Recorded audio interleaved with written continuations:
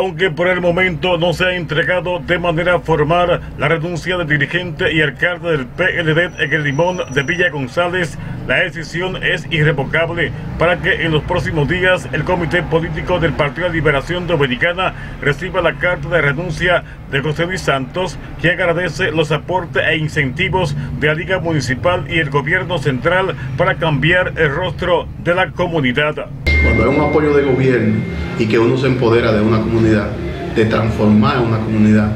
Por ejemplo, nosotros eh, podemos decir que transformamos la comunidad de Higo de Agua con el aporte que hizo el gobierno para las ceras y contenedores, impactando significativamente a la comunidad, ya está lista para en cualquier momento de un proyecto de asfalto se pueda afectar, pero también con, con recursos de incentivo de la Liga Municipal Dominicana,